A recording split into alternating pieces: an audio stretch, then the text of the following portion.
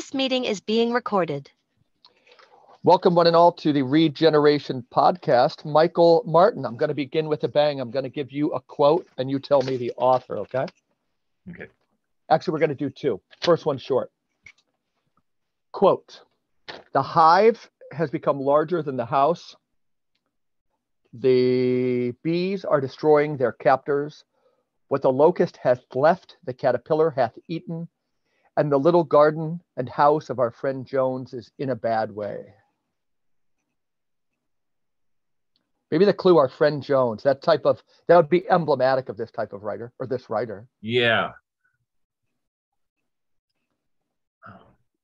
The hive has become larger than the house. The bees are destroying their captors. What the locust hath left, the caterpillar hath eaten, and the little house and garden of our friend Jones is in a bad way.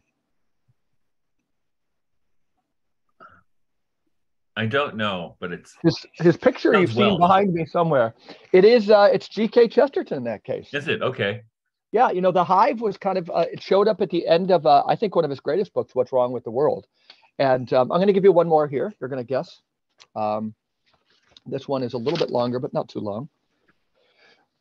We have reached, in fact, a moment in the history of humanity when an attempt is being made to take evolution out of the hands of our slowly evolved human conscience and give it an expert twist in another direction, a direction selected to suit a regimented society, monstrously, informally logical, and with the terrifying weight of science to back it up. In fact, this whole war is a tragic attempt on the part of slave states to dam up nature's 20,000 year old struggle to free the individual from the tribe, the state, the race, the nation.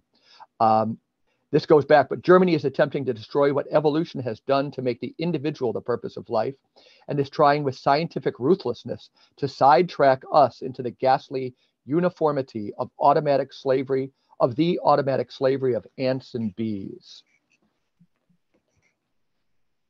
Almost sounds like Berdyaev.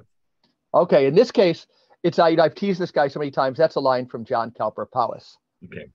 And uh, I'll, I'll tease this a little bit more. That Powys, been writing a book called Mortal Strife, he had uh, he was writing what he saw developing in Germany, and I want to make the case um, over some time here that maybe like you know the state of Israel, uh, that becoming what they hate, you know, have they become something of an apartheid society for being you know for looking at that the evil in Hitler's Germany, and similarly in America and in the West, using Hitler's Germany, an unmitigated evil, have we become to a certain extent, you know, what we've hated? And I asked, I asked that question because Michael Martin, for the next couple weeks, today being an introduction, um, we're going to be looking at um, this thing that some people would call our friend Guido Preparata will join us in a week or so.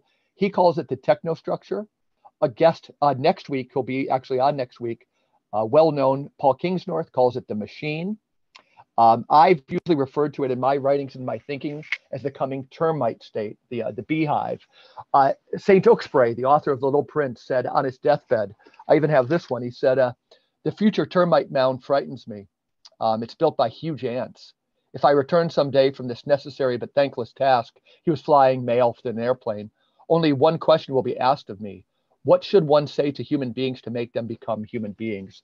Uh, who else? We knew that." Um, Powys thought people were looking more like ants. Um, Northrop Frye saw a coming insect state. Lewis Mumford, he conjectured a coming mega machine, that was his language, where humans are interchangeable appendages in a centrally controlled system. And so it goes on and on. And uh, dear friends who are listening to the podcast a couple of weeks ago, we teased a series will be unfolding over the next year or so on the Russian Silver Age theologians. Uh, today, we're kind of teasing a theme that we're going to be unpacking for the next two weeks and uh, beyond that too. And it's uh, how would you describe it, my friend Michael? Well, I'm. It's uh, well, it's uh, people have been warning about them. And this is put it this way, um, the things all those guys were warning about. they they were anticipating uh, something that was already uh, kind of um, the desire of the powerful. Put it that way. hmm But now the powerful has the te- have the technology to do that. That's a key issue right there. Yeah. And I and I think um, I remember. So uh, I just actually I just finished uh, an essay for a, a short essay for the American Mind, if you know that. I do. I do. And they asked me to write on transhumanism. Spencer Klavan, good guy, asked me to do that. And so, you know, I've been thinking about transhumanism for a long time since uh, I started teaching college. Actually, actually, the first class I taught had a chapter in the reader. There was a reader I was using, and, and a chapter in the reader uh, was a, was actually a chapter from Philip K. Dick's "Do Androids Dream of Electric Sheep," which was later made into the movie Blade Runner, right? And in in in Dick's book, you know, the the, the linchpin is that, and in the movie Blade Runner, so most people have seen that. Um, the, the thing is, it's increasing. It's it's impossible almost without uh, a sophisticated test in that world to tell whether or not a being is human or an android. Right. Right.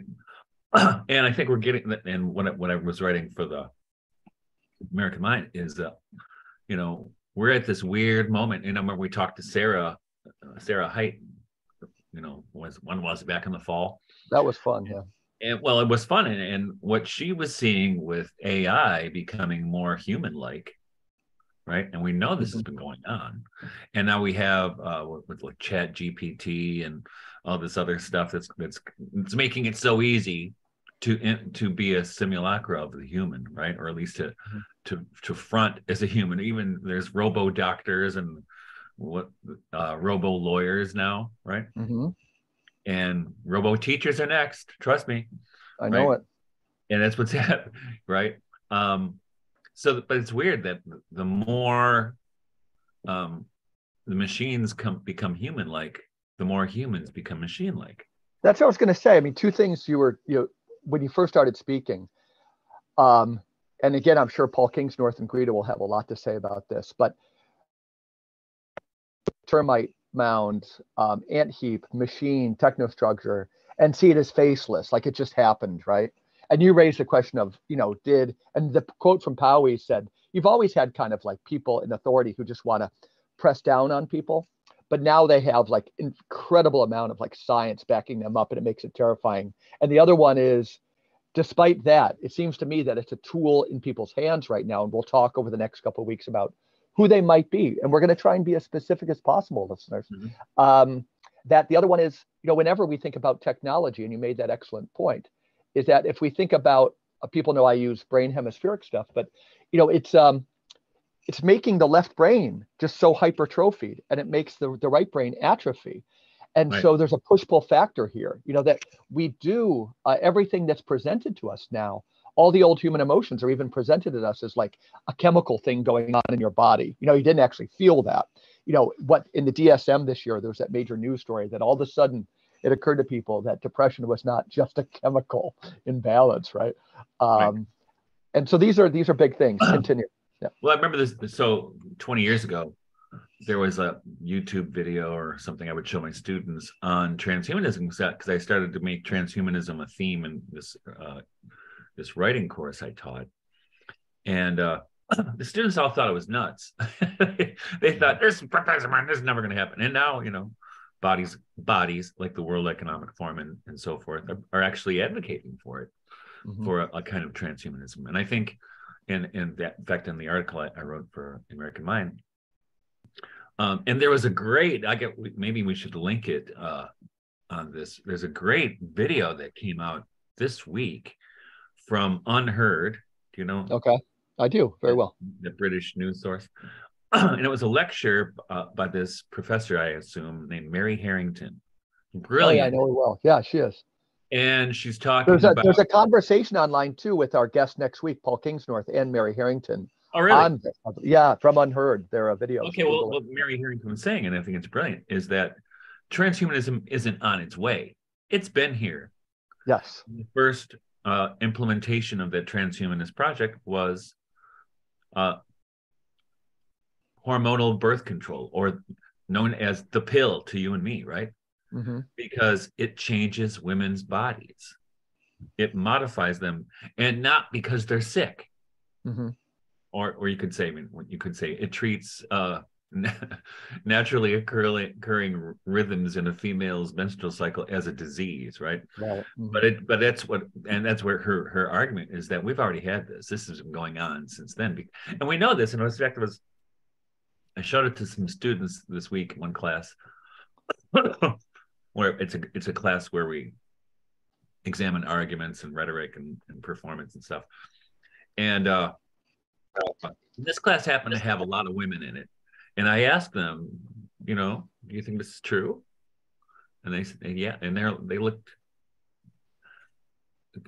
concerned, might be the word, but they, they kind of had a wake up moment for a second. And I talked to them, and I think you've heard this too, that uh, there's there's scientific proof that when women stop taking artificial birth control, all of a sudden they look at their spouse or their boyfriend and like, oh, how I'm not attracted to you. Uh-huh. I didn't know that. Them, you know, from at a at a chemical biological level. Yeah, and it, yeah. their their natural desires and attractions are subverted. Yeah. Right. I I had not heard. It totally makes sense though. And yeah. anyway, I was trying to say so. Twenty years ago, I there's this video, and one of the it was kind of warning. I think it was put up by some Christians uh, it was warning about the the advent of transhumanism and with it turning in you know the whole idea one of the ideas of transhumanism is to turn us into a hive mind right and how many times have right. you seen this on right. internet hive mind what's the best pizza sauce or whatever right? But it's really uh, it's a project that that I mean, yeah. about, if it's a, if it's, if it's a good thing. data, it's yeah. about aggregating human beings into this, uh, you know, in, into something to be optimized and to be to be instrumentalized mm-hmm. and not to be human beings, which is right, not even right. secondary anymore. It's, it's tertiary concern. Mm-hmm.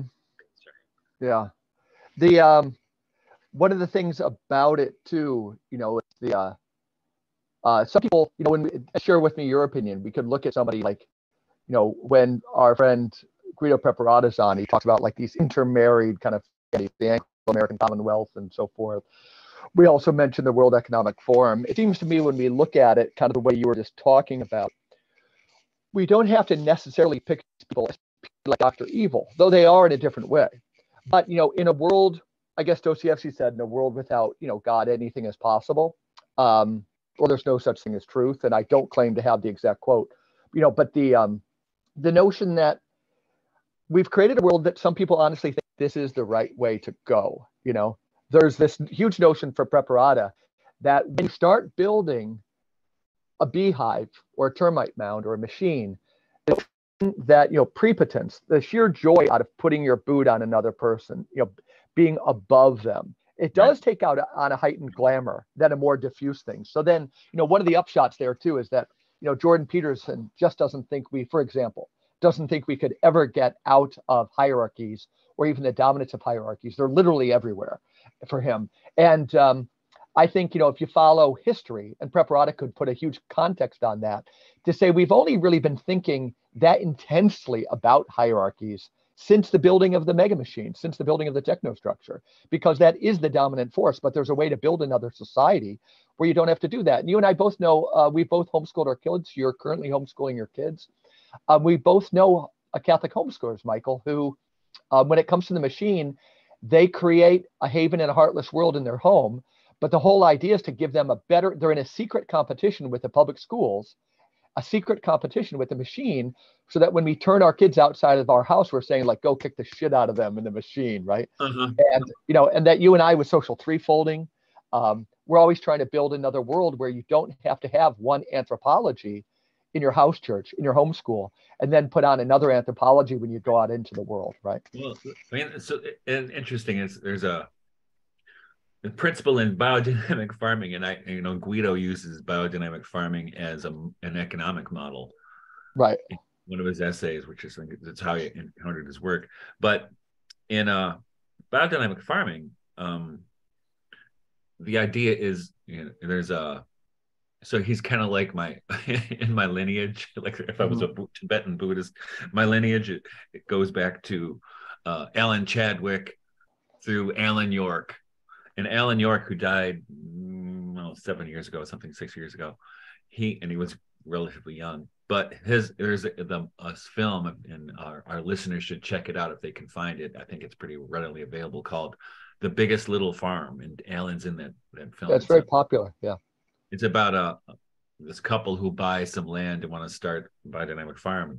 they don't know anything about farming, and they hire Alan as a consultant. One of the things he tells them in this interview, he goes, "Well, you know, they they want to grow nectarines. They're in California." He goes, "Well, how?" You know, he's like, "Well, how many varieties do you think you should grow?"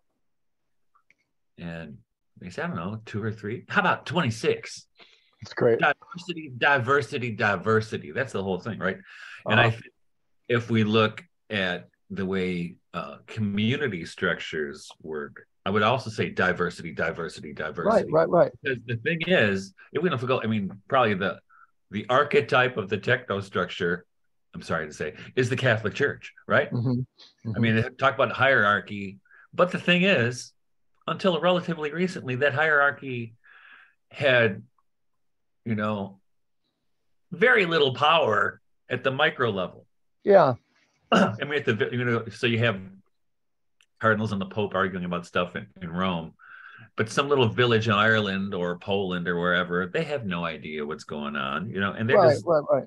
they're they're Catholic, but they're they're they're Catholic in uh, their very uh, singular way, Mhm. you know, culturally, etc.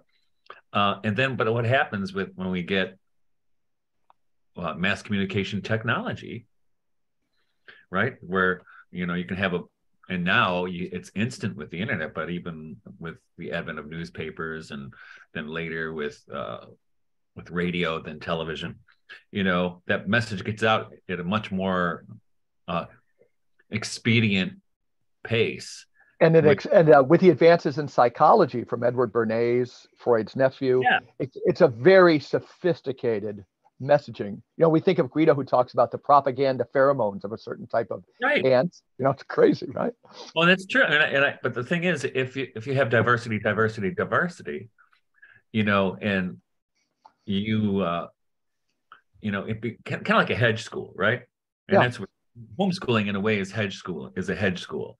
Mhm. You know, it's it's countercultural, and because you you know you don't want to be part of the machine, you don't want your kids to be part of the machine. You know what? You know, we should have him on the show sometime. But uh, he'd been a guest over at the monastery several times when I was the retreat house guy there. I, I I invited him to school here to give a talk, so I consider him a friend. Is the theologian William Cavanaugh, Oh, yeah. and uh, you know he's he's he's he's great on defining. You know, when you're talking about Europe and the the Irish Catholics, you know what he calls is uh, modernity also invented you know homogenous space. There used to be complex space in the Middle Ages. You had this obligation to the Margrave, this obligation to the church, this obligation to the duke, and um, there are overlapping loyalties. Now with the nation state, the definition of which is you know the nation state is that entity that has the power to kill in a certain geographical space. You know that's what Right. calls homogeneous space that lends itself to the building of a technostructure beehive machine. You know, and at this point, a little not a commercial, but just reminding people during this next week, do yourself a favor, go to Paul Kingsnorth's Substack. It's called um, what is it called again? The Abbey of Misrule. Yeah, yeah, yeah. And so, and you know, at least Google any tire uh, title you see that has the word machine in there, because he's he's been mining this for a long time. And so is our friend Guido. And you know, in his website, I just went to it before we came on. I do believe you could download his essay called "The Technostructure." He just sent me a new introduction to that essay uh, yesterday. It's brilliant. But that'll be part of like what he would share with us. but you know, I think this is worth you know studying the history because we're not just trying to uh, we we got to get very precise about how this thing works, who serves it, you know, because some people they see it, and my own friends, you know, at Front Porch Republic, it's a normal approach, but many people with that worldview could say the only answer is like to to do away with technology and machines, Right. you know, and I think you and I, Guido, probably Paul, we don't necessarily think that, it's the idea of can you get the genie back in the bottle? And the answer is yes, we can. Ivan Illich had a notion of convivial tools. Um, so Yeah. we're going to get very specific about this whole thing. Go ahead. Well, the good news is there's a there's a substantial countercultural movement on this exact topic, mm-hmm. and it used to used to feel I used to feel so lonely. you know what I mean? I'd be like a voice crying in the wilderness. But but the the figures you just mentioned, but also you know John Michael Greer. Absolutely, he's part of that diversity of, of mm-hmm. opinion and uh, questioning of the machine, right? And Absolutely. what he calls it, and I in fact I was mentioning it in in an article I, I wrote, you know, in his book uh, that we talked about a couple weeks ago, uh, the retro future you know he talks about the the butlerian carnival that's right butlerian jihad which is in uh-huh. the dune series the butlerian jihad is when the society says nope no more thinking machines no more sentient ai because it's destroying what it means to be human which is why when you get to dune which it comes much later you know there, there are no computers right mm-hmm. um and how can they bring no computers in the future? Well, because this, yeah, right, because right. precisely what's happening right now. But those those guys, um, John Moriarty, the Irish philosopher, died ten years ago. Something he was he was certainly doing this. Martin Shaw, who, who whom I'll be mention, um, interviewing for Jesus the Imagination. In fact, the next volume of Jesus Imagination is on the household of things, which is exactly this kind of thing we're talking about. Agreed, it was, you know, it's not the, the machine, it's the anti-machine, right? Right. The yeah. household, it's the it's the real economy. Mm-hmm.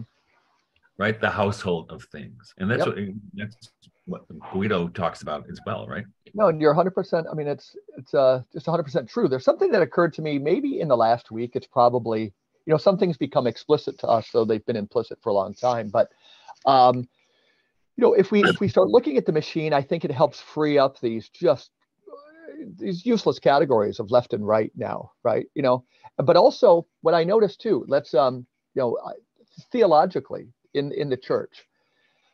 Uh, I see this in in Guido's writings. I know it's true in Powys. It's probably the thing I love about him most. Uh, neither of these guys are necessarily conventional pew sitting Catholics. Certainly not Powys. Um, but when we when we really understand the machine, I think what it does for the gospel is that we realize that like the traditional understanding we have of the church that we might look at this thing and try and throw holy water at it and say get thee behind me satan. Hey folks it's not going to work. Um, all these it's demonic for sure. It's not going to work. But what you find in the writings of these people is that kind of in two things. One is an anarchistic original christianity is the real antidote right? A humility from the bottom up um, hummus um, humility, humor. All these things are super important. And so the anarchist Christ, the kind of the simple people of the land things, really gets foregrounded when we name what's going on in the world accurately. That's why I think what Paul and Guido are doing. And the, the other one implied in um in the word, you know, humility and humor is the role of comedy. And I want to say this too, that um in the writings, this is maybe the most explicitly I've talked about just one one of the millions of insight of Powys, a world towering genius, is that he knew, um, for example, that through Rabelais, Shakespeare, Cervantes, the greats, you know, we need to incorporate them. But he could even look at Charlie Chaplin and say, there's two things I want to say. Is one is when you look at the great humorists, this would be true in Powys' mind of Cervantes, Shakespeare, um, and Rabelais, is that the non-recognition of the equality of all souls is the basis of all humor. So look at Charlie Chaplin, you know, sending Hitler up the river with humor. The mm-hmm. non-recognition of the equality of all souls is the basis of all humor. When somebody walks around thinking we're all not the same, or like one of my friends at work at the monastery, uh, not Catholic, you know, just referred to somebody and said, "I think that guy thinks he's better than me." You know, that's a classic statement. And so, um, and also Powys would say that the equality of all souls, all this other stuff we claim about the centrality of Christ, um, I believe Christ was the center of history and the evolution of consciousness and so forth. But Powys will say, you damn sure don't see the equality of all souls here. You don't see it here in these other religions. You know, and that this is the major thing that, you know, everybody's our neighbor. And when we finally name, I believe, name the technostructure, name the ant heap, and we describe what's actually going on, we will see again, it'll clarify because we need a new iteration of the Catholic Church. It'll help us jettison this kind of magic thing and it'll bring us back to that gospel insight, which is the great liberating message of the children and sons of daughters of God, you know, this type of thing. Does that make any sense to you, Michael? Yeah, absolutely. In fact, one of my favorite authors, I think he's in the pantheon for me, is in the top three. Who is? H.J. H.J. Massingham. Yeah, I know him. Yeah. and and his book Tree of Life, also through his books. That's what his one of his points is that Christendom lost its way when it became the machine, Mhm. right? And it became, you know, uh This is Illich too, right? And really where where most exists is, I mean, look, Jesus was a carpenter. There, he's dealing with fishermen. So this is this Uh-huh. is this is more than grassroots, right? This is Yeah. this is uh, this is the way and you know the way it's the, and he's he was an agrarianist you know so he was the village was the way and the land was the way Mhm. um and uh i i think what also happens is um it, that i mean it's focusing on the real right all Right. those things are focusing on the real which take us out of the technosphere right Yep. um and shakespeare does the same thing i mean shakespeare shakespeare i was i'm teaching this online course and, and actually uh, an at my house course for homeschool kids on shakespeare right now and uh and in fact this week we're doing uh, midsummer night's dream and it's Awesome. it's stunning to see how and how he uses humor for instance Mhm. right not just to um take the powerful down a peg but also to to take you know just to point at the human condition and he Mhm. does it in such a way that he doesn't rob them of dignity ev- even in the, the midsummer night's dream with the mechanicals right the, the rude mechanicals who put on the play bottom and his friends um he, he people critics i mean critics are are, are horrible will will interpret that as um shakespeare horrible. fun of people but no he's not those are the people shakespeare grew up with Yeah, yeah. he, he's from the countryside which was you know he knows those guys and he loves them but you and i always tell people you can't make fun of people unless you you understand them Right. you know and he understands them and he understands the powerful as well right Mhm. and nobody gets off the hook in that in that play No, nope, nope. What, right? what, what, what's, what is it that Puck says? Well, oh, what, what fools these mortals be, right? Yeah. And which and when is, you and I talk about regeneration, we're talking about, you know, that the church has to, you know, reincorporate some paganism again. But you and I both know that, and I've mentioned the names before, you know, until the church can also include almost in its canon Shakespeare, Cervantes, Rabelais, yeah. and absolutely- Montaigne. what really struck me this week in the last couple weeks is I haven't read Shakespeare in a few years because I haven't taught Shakespeare. And I was supposed to teach it a few times, but the class would cancel or they'd change the schedule. I'm like, I'm stuck. And this is a college that I'm the only guys who teaches Shakespeare there. And Right. they haven't offered Shakespeare for English majors. Yeah, it's like offered every fifth year or something. it's such it's unheard of but anyway Yeah. That's by design from the hive, folks. so anyway what sh- what really stunned me by reading shakespeare this week is of course the beauty of his writing for one thing and the insight but also comparing this the consumption of shakespeare's language to what i have been really kind of inundated with over the last three years mostly through social media and stuff like that it's it's like i came out of the desert Mhm. you know talk Yeah, about tasted so good, right? talk about grounding or reconnecting with the real Mhm. And poetry does that. And it's what really what really jumped out at me reading mr night's dream this week is the poetry through the whole thing. Yeah. it's just you know and he and it was an earlier play for shakespeare. So he was it was um it's really uh rich in poetic idioms and different Mm-hmm. kinds of poetry which is really cool because he has the, the fairies speak one kind of poetry and the humans speak another kinds the humans mostly speak blank verse and the, the but the fairies speak in couplets or in other in other kinds of, of songs which is just beautiful Uh, The uh, that was an early one this week. Movie and read. I I, I paid attention to the Tempest again. So I, I believe most people think that's his last one. But I am, you know, the uh, the the Hive too, and it kind of jives with a lot of what you're saying. It allows any young person I speak to now, and you and I talk this way, Michael. You know, something feels like it's going to happen. Something feels like it's going to happen, and I think uh, the Hive in this analysis, which we're going to take a deep dive on over the next couple of weeks, it allows us to kind of embrace that apocalyptic mood as an unveiling. And again, I think we can, um, you know, that when I believe, you know, one thing, again, if we look at it clearly enough, we see that the antidote to it is a form of Christianity, but it's not the one we're used to. Um, and uh, you know, here's another. I'm going to give another Powys one. Well, it's you know what the machine Christianity, right? Yeah, right. And you know, gonna... in Huxley's in Huxley's Brave New World, right? Mm-hmm. He doesn't have the Archbishop of Canterbury. He has the the Arch Community Songster. right, right, right. Which is what it is, right? It is, it is, it is. I mean, so really, the, the church, the Anglican Church. I love the Anglican tradition, but my goodness, the Anglican Church is really a, a weapon of the machine. Well, right. Addison Hodges Hart was sending him up the river last week, pretty good yeah. on the same type of stuff, right? So listen to this one. Uh, you know, and, and the way when we look at the machine, the way I think again, when we were talking about the brain and how it atrophies, you know, uh, the right brain and this kind of push pull factor and all this stuff. Once we can get into that way of seeing things, how we're affected and being affected by, um, we're going to see that when I believe that when we get a correct analysis of what's going on by using some of the insights of uh, Kingsnorth Preparata, the people who've gone before, Lewis Mumford, that it will help us change where the church and Christianity needs to be. And that could be apocalyptic too, because it's going to look, in my mind, a hell of a lot different. So this is another quote by Powys. And he's saying in like 1943, he goes, For it would appear that what some call the spirit world, but which I prefer to call the next dimension, has its thinnest and least obstructive wall uh, where we are in closest touch not with love or religion or philosophy, but with the elements. This reminds me of you in the real, Michael. He said, you know, now this has nothing to do with the difference between city life and country life. Uh, for a man can be quite as alone, more often very alone in a great city than in a country village. It has to use uh, to do with communion, to use Berdyaev's pet word. He read Berdyaev so closely yeah. uh, with the so-called inanimate.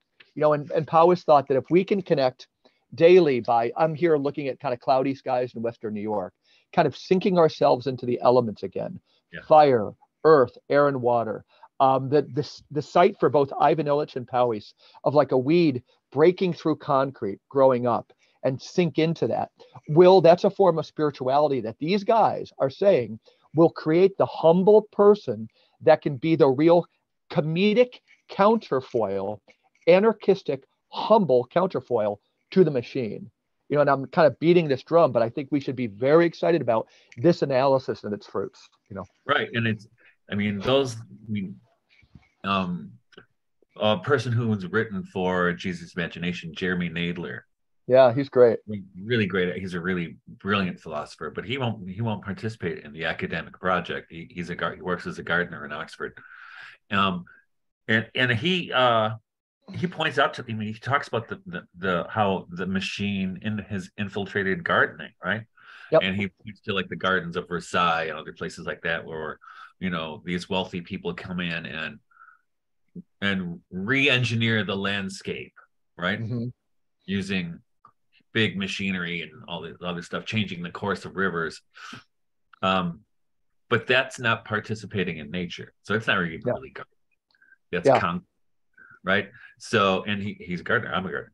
Um, so how do you do it in the way that participates with nature? And I think in another thing he points to is the way you resist the the technicization of the human being mm-hmm. is through acts like that, through po- writing or reading poetry or do, doing music and whatever it happens to be, some kind of creative word working, all kinds of things working with with one's hands, right? That uh, that resist that that mm-hmm. resist mm-hmm. that in, in, a huge way. And uh, and I know that's true because you know I've been editing a couple books lately, which means I spend a lot of time sitting at my, my laptop, and I can only do that for so long. And so, you know, and even though I in the mornings and in the evenings I have to go out and do farm chores and stuff like that. Um, but what I do to, to get out of my head, out of the tech, out of the machine, is I play the guitar. Okay and I'll play the guitar for about a half an hour in the middle of the day, just just get rid of it to reconnect with something that's real, right? Yeah. Yep. And uh, and I think Jeremy or Naydler is great on this. Um, What's the what's the name of his last book? Because people should read it. You know how we sometimes lunge for books right around us.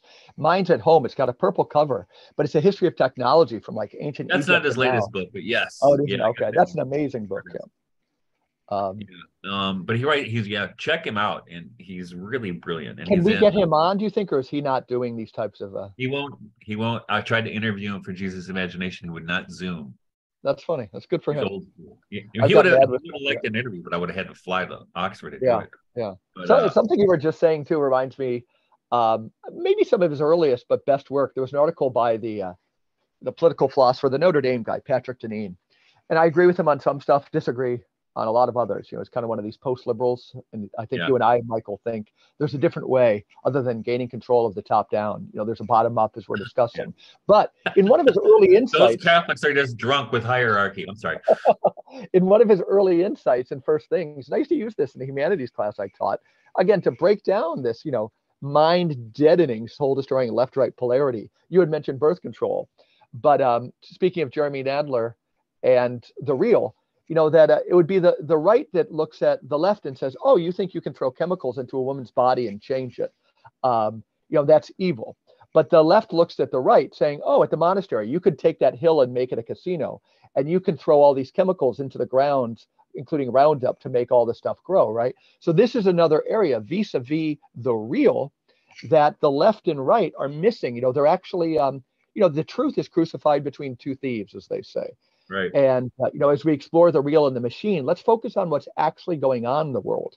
And these binaries of left right cannot seem to capture it but let's just start let's let go of all that jargon. Left right as far as i'm concerned you know they're the temperaments. We see in solovyev's great article on uh, the death of plato or something but you know he knows that people people on the coast new york and la but in his case the coast of greece they could just go and see oh you know the persians for example they they put their spoon in their right hand. Ergo everything's relative right? Socrates said that's a stupid you know that's a stupid way of thinking sophist. But the conservatives in the uh, in the middle of the country uh, they tend to be in the heartland. They would say you know that uh, in honoring tradition um, that you know nothing would change. And socrates said oh you know what you're saying is kind of right but you're going about it in an ass back way and you take you guys so seriously. He saw that the uh, you know the sophists the so-called liberals they were they were they presumed their intelligence but they were actually pretty dumb and they were really serious.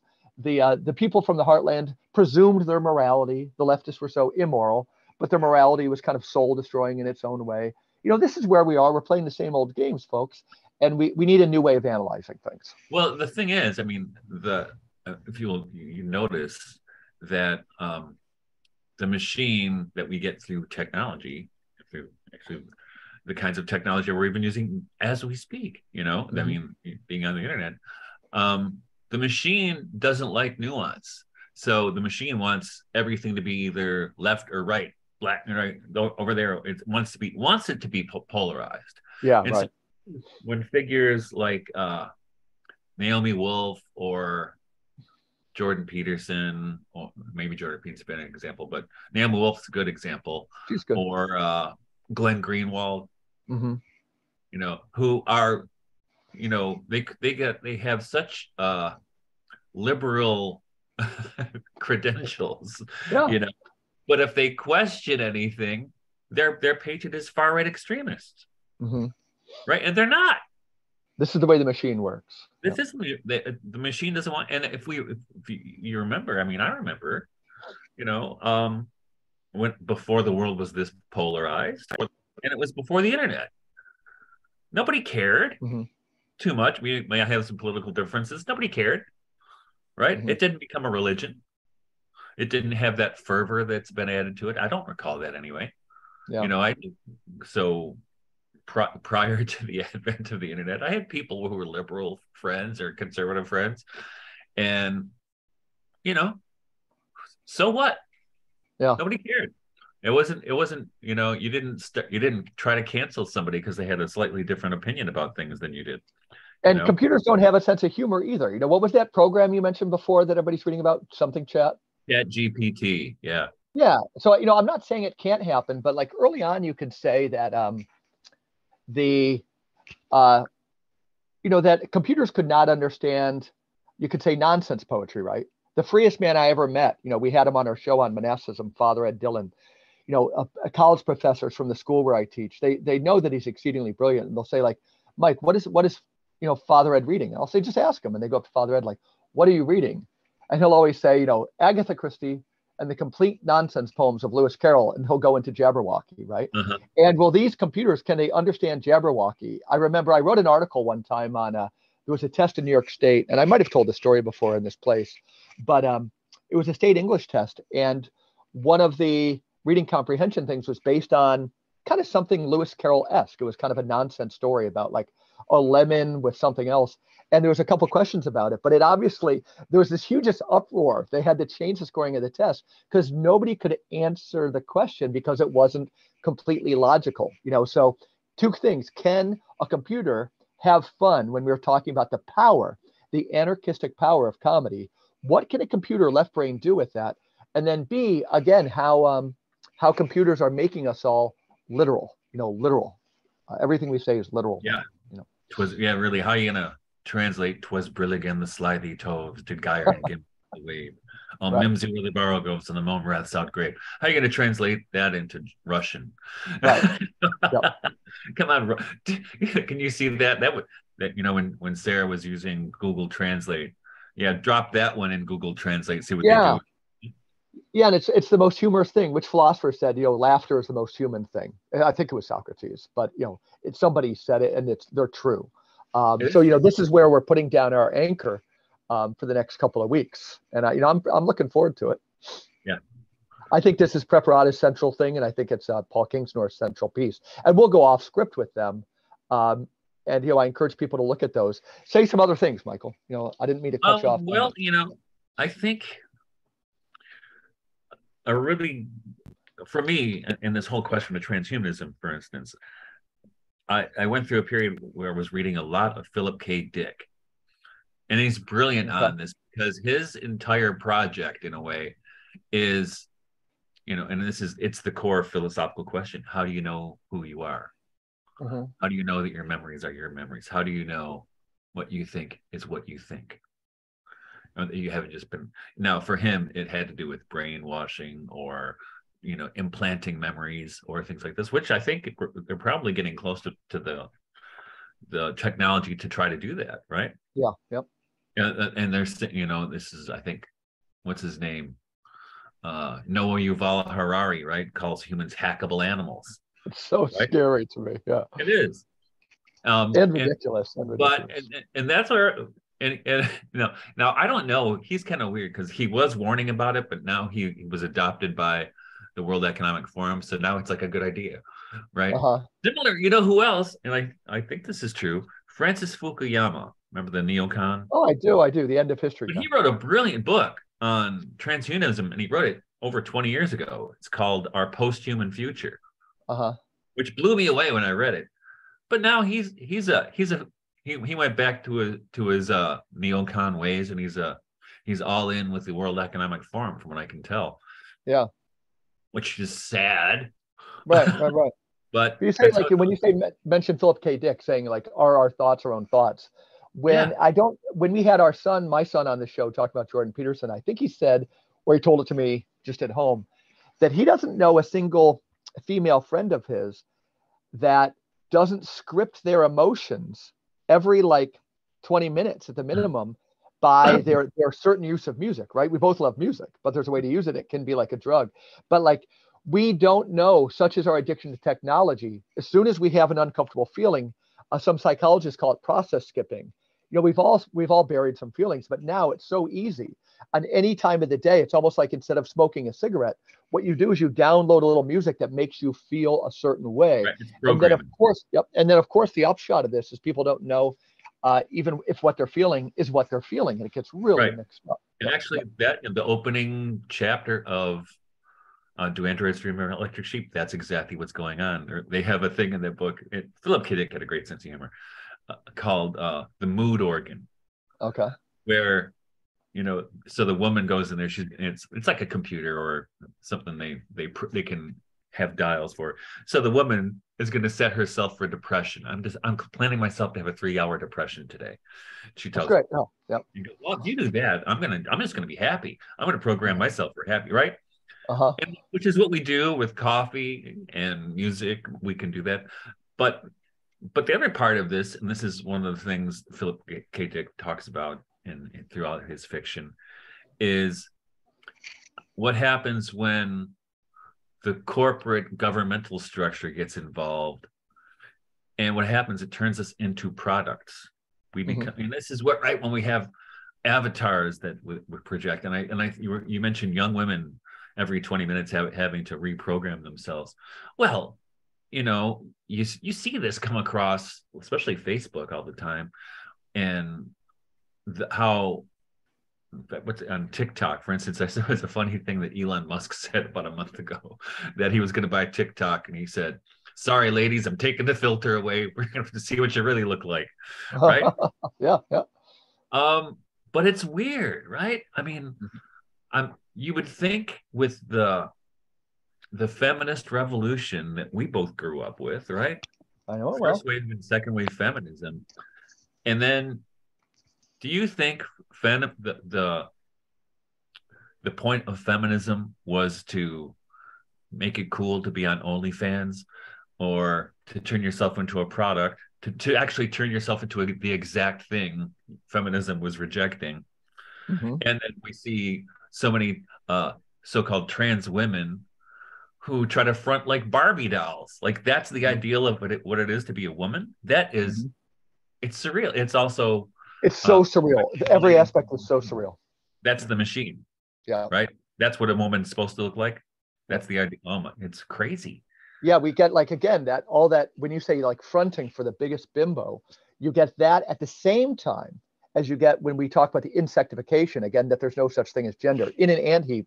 There's no real male nor female in a large sense. You know, there's workers drones. You're assigned a role, Right. and that's the role of uniforms now is to like a sexist. So you get this, st- you know, this kind of shallow, unreal stereotype of sex combined with a complete asexuality of the ant heap um, and they both have different roles. And it also leads to you know again the questions that this analysis leads to is so okay so we have a machine. Uh, is it faceless? Is it just run itself or cui bono? You know and that, that's a huge one because it ties into this notion you and i have discussed of conspiracy theory right? There's maybe the people running the machine wants you to put out some messaging that the people who wonder if there's somebody running the machine are stupid. They're idiots. There's something beneath contempt. They're called conspiracy Right. theorists, like somebody who might make a question. Yep. Let me invoke Brother Guido. Yeah. Conspiracy theory is too important to be left to conspiracy Well, theorists. amen. Amen. Yeah. Right. But I think you, one, I think we, we've touched on it. We're, we're edging up to it. But I think the real thing is um, what we're seeing, the, the, the front line of attack on the real, real is a front line attack on the feminine. Yep. Right. And not, and so it's on, you know, you see are trans women really women can, you know, can, trans women compete in women's sports? Mhm. It's nuts. Um, It's nuts. and but it's also on fertility and this is what we talked about earlier with mary mary harrington's uh, lecture you know that's an assault on the feminine Mhm. that's on the biological feminine but it's also because it's and it's an assault on fertility Mhm. right the most the whole i mean i've been mulling over this for the last few days fertility is holy and i'm telling Mhm. you this as a father of nine children and as a farmer it is a holy thing Mhm. and we treat it like it's it's a disease yeah, yeah. and because of that we treat becoming pregnant like a disease and I, you, I have catholic friends who are you know pro-choice catholic friends who talk about uh, a fetus as a parasite Yep. That's the same thing as like again, you can be Catholic in one sphere, the home, and so un-Catholic in another, like the marketplace, the instant, you know, the school, or the hospital, or what you're saying. Yep. so and it, it's it's demonic and it's well it, and we what uh, wait this is not my my my thing but uh you know rudolf steiner calls it ahriman right Mhm. this this uh spiritual being who wants to make turn turn us all into data and Mhm. just instrumentalize everybody and everything Mhm. right? And and the other part of that Steiner's equation is Lucifer, and Lucifer is like this this spiritual being who promises you freedom, right? You're going to be free. And this we see this in the trance phenomenon in particular. So, say this confused person, they think they're they were born in the wrong body, which I don't know what that means. Um, and talk about Cartesian. born in the wrong so body. they, they're born in the wrong body. But here's the thing, right? So they're born in the wrong body. So Lucifer is like, yeah, you know? Yeah. I'll help you get what you really want to be yourself. And that I'll also has a huge metaphysics when these people back it up. Okay, if you're born in the wrong body, that means you're something of a you know you believe in the immortality of the soul. Like we have no idea. Yeah, Right. but the, but then so so they so they sell their their their souls to to to Lucifer and say, yes, I want the freedom. Give me the freedom to be myself. Mhm. Well, what happens with the freedom is slavery, right? This is this is Berdyaev's thing, slavery. yeah. so that you you deliver yourself to what you think is freedom but you end up being a slave because now you're you're you have a lifetime prescript uh, uh, subscription to hormone uh, medications and surgeries right Mhm. you have just been co-opted into the machine uh, and in fact when you go to a great place you see this It's really is, well said. Yeah. is in pinocchio collodi's pinocchio Same right one. where pinocchio goes to the island of the lost boys right i'm going to be free we're not going to go to school anymore and they're turned and he's turned into an ass Mhm. Education, which means to lead out into freedom, you know, has Yeah. become its opposite in the formal sense. You know. and we're all and we're all being led led into you know we're being transformed into asses Yeah. Yeah. you yeah. know My review of uh, your book Transfiguration, um, when you said, and you did, you summarized so much when you said it's really a war against women, but um, my title is based on you had quoted, I believe, on Balthasar in your book, but I I entitled my review of Transfiguration, "Avoiding a World Without Women." Yeah. Um, and Guido's book I entitled "Avoiding the Hive." Like I read your book as all about you know, avoiding this world that could be symbolized as a world without women. And I read Preparata's book, New Directions in Catholic Social and Political Thought. And I read all these essays, magisterial, totally magisterial. Sadly, his, you know, it's a, it's an academic publisher, so the book's pretty expensive. But the, um, uh, but a lot of the chapters are broken down in other places on his website. But the, I read all those and I thought, wow, these people were diagnosticians of the hive. He was hoping when he worked at the Vatican to create, you know, a movement in the Vatican that could kind of again align themselves with what was really going on in the world. And he, like I do, saw the possibilities that once the Vatican aligns the gospel with what's really going on in the world, really real, then it will lead to this more humble, um, anarchistic, freedom-loving Christ that we know so well and we can meet in the sacrament, you know, and things like that. but the machine doesn't like that mike Nope, nope, nope, no. It's pretty savvy. It's pretty savvy. It's faceless, Michael. It's faceless. Nobody's That's- actually look- charge. Hey that's why i'm looking forward to the, the publication of guido's new book right church The one on. Yeah, you wrote that. I read your introduction. It's excellent. is it out yet No, I, well, it could be. You know, he's it's all kind of coming together. He's actually this weekend at a conference Okay. in Italy where I think they're getting real about launching a perishable currency in a, in a community. Awesome. Yep. Um, and it's a different part of Italy. But the uh, oh, what was one other thing? It was I think a world without women. To, to, to um, when we look at it with the hive, well, I'm just kind of haven't done it too much. I kind of forgot what I was going to say, so I won't even spend time thinking about it.